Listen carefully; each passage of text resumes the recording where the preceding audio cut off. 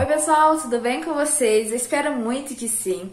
No vídeo de hoje aqui pra vocês uma sobremesa maravilhosa, que é tipo um mousse todo aerado ali de chocolate. Fácil, pessoal, mas fácil demais mesmo. Sei que vocês querem receita gelada para esse calorão que tá fazendo. Então já peço que você já deixe sua curtida aqui, se você curtir essa receita. Comenta aqui pra mim o que você achou dessa receita.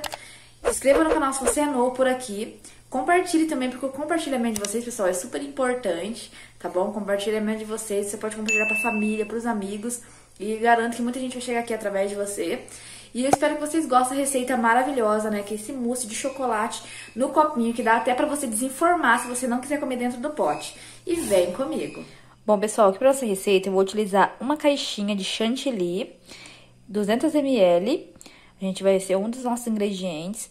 Você precisa bater bem geladinho, tá, pessoal? Deixei mais ou menos umas 3 horas na geladeira ali mesmo, normal, não no freezer.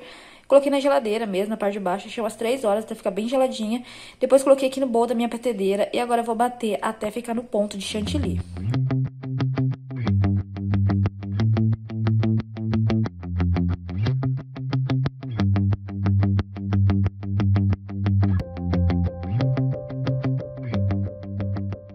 Vou pôr aqui 90 gramas de chocolate derretido.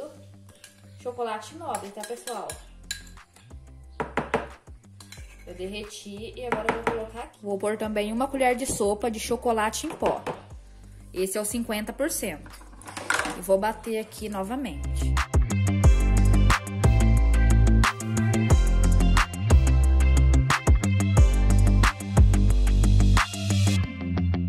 Vou pôr aqui uma gelatina incolor, que eu já tinha hidratado ela com 10 colheres de sopa de água, o pozinho do pacotinho o pacotinho de 12 gramas, hidratei.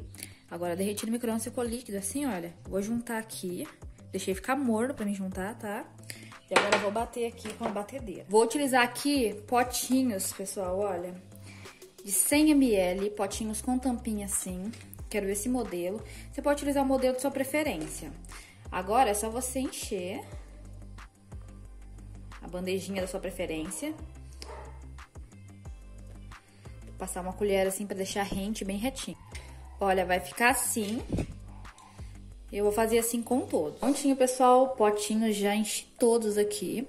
Vou levar pra gelar agora, mais ou menos uma hora até ficar bem firme. A gente vem aqui desenformar pra ver esse resultado maravilhoso.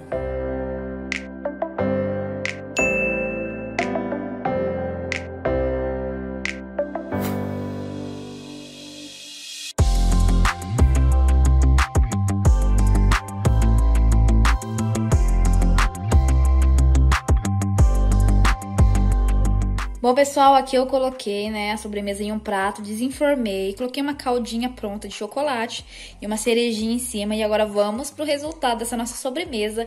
Fica super aerada, fica tipo um mousse de chocolate, só que em corte, assim, né, maravilhoso. Pode acompanhar com uma calda, com uma geleia de sua preferência. Eu coloquei uma cerejinha só pra enfeitar, mas é opcional. Então agora vamos pro resultado.